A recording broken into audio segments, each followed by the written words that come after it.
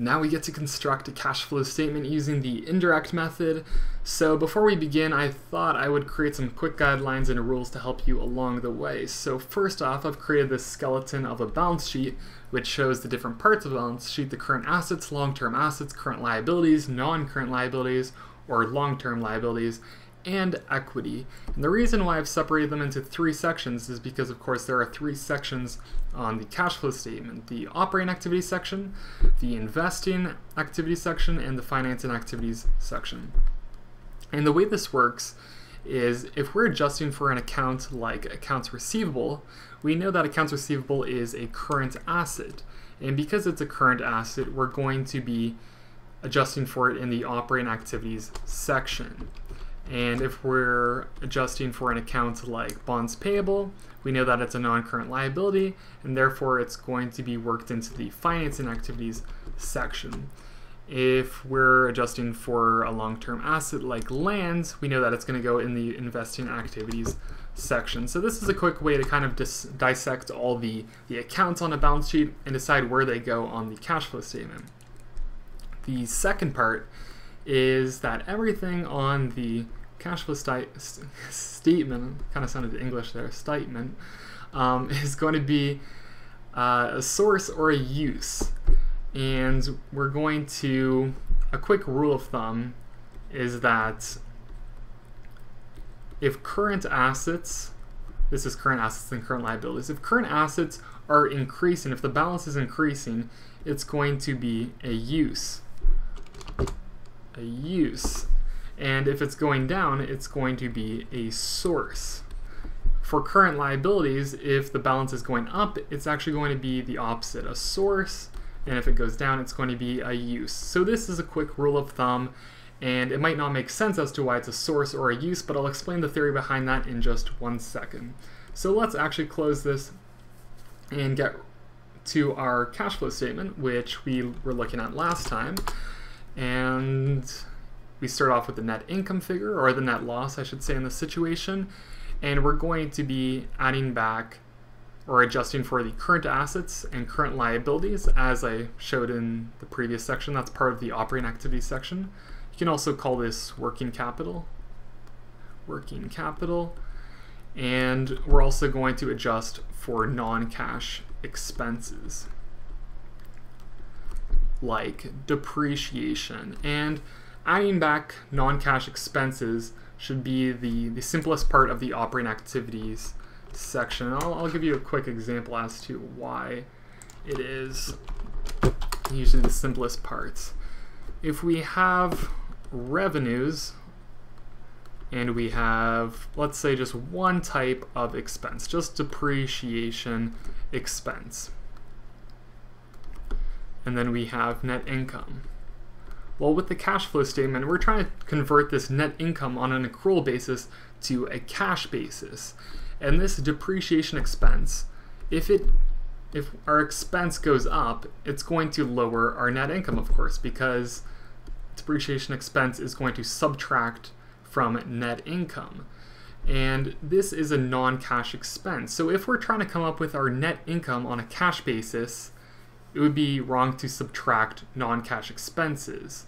So in order to fix this, we need to reverse this entry by adding it back. It's going to push our net income back to a normal cash basis figure or a normal net income figure on the cash basis, and then we'll be good to go.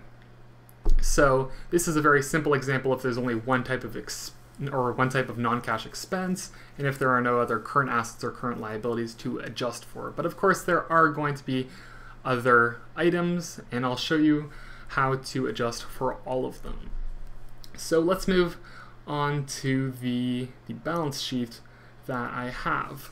So this balance sheet, we're going to use this to actually create a cash flow statement. And the first thing we're going to look at is the current assets section. So we're going to go with accounts receivable and conduct this part first. So we're going to look at the difference between 2013 and 2014 because that is what matters. So we know that it increased by $41,000. So let's go ahead and start our cash flow statement. Let me get rid of this, this layer. And then to, well, I just wanted to show quickly the income statement because we're going to start off with our income or our net income figure, which is 150,000. So we're going to write net income, and then we're going to put 150,000 there, and then we know that our accounts receivable went up by $41,000. So the first thing is we need to determine whether it is a source or a use of cash. And we know with our rule of thumb that if a current asset increases in its balance, it's going to be a use. But why is it going to be a use? Well, I'm going to get to that in one second once I just quickly write down adjustment and then accounts receivable and write down negative 41,000 to show this is a use. So the best way to probably show this is if accounts receivable goes goes down.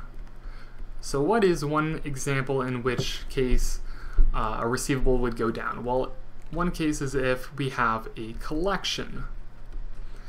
So if we have a collection, the entry will be cash being debited and accounts receivable being credited, 41,000 each. This way it clearly shows that the cash is increasing on our books and this is going to be a source which goes hand in hand with our rule. Whenever current assets decrease in balance, it's going to be a source. So in this example, it would be a source of cash. But looking at our balance sheet, our balance sheet actually increased in in a balance of 41,000 in accounts receivable. So it's actually going to be a use. And the reason why it's going to be a use is if accounts receivable goes up, normally it will be a sale. So we'll have accounts receivable being debited and sales revenue being credited for $41,000.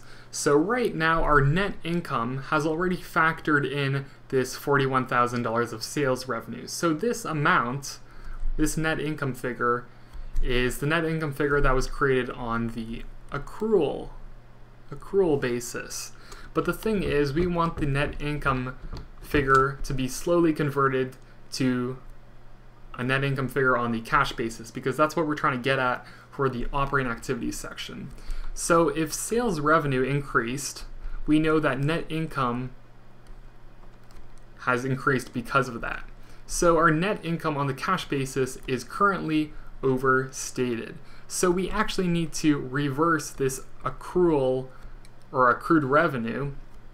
In that way, it's going to bring our net income back down to its proper normal cash basis balance. So we're going to actually subtract the $41,000, which we have done right here. And because of that, it's going to be a use of cash. And that will be the first part of our cash flow statement. So we've just subtracted that amount. And you might be asking, well, what happens if this wasn't the entry? What if, for instance, well, okay, what if it wasn't a collection? What if it was maybe a bad debt expense? Well, the thing is, if it was a bad debts expense and our receivables went down by 41,000 because of that, then we would have a bad debt expense account on our income statement. But the thing is, we don't. So if I actually were to close this and then open up our income statement, we don't have a bad debt expense account. So we know that that is not a possible journal entry that we would have performed in the past. So it's most likely that it would be a collection. So when I come up with these these journal entries, it's not saying that's the definite uh, scenario that went down, but this is essentially the idea of what's or uh, of why it might be a source or a use. So if it's some other type of entry, normally another account will be created either on the income statement or the balance sheet, and because of that, we'll then have to adjust for that one. So that's enough for now, and in the next tutorial, we'll be talking about inventory and adjusting for that. See you then. If you have any questions regarding accounting or any other material within our videos, you can tweet us at NotePirate. You can like us on Facebook to receive updates or to share any quick anecdotes about how our videos might have helped. And like always, thanks for watching us on YouTube.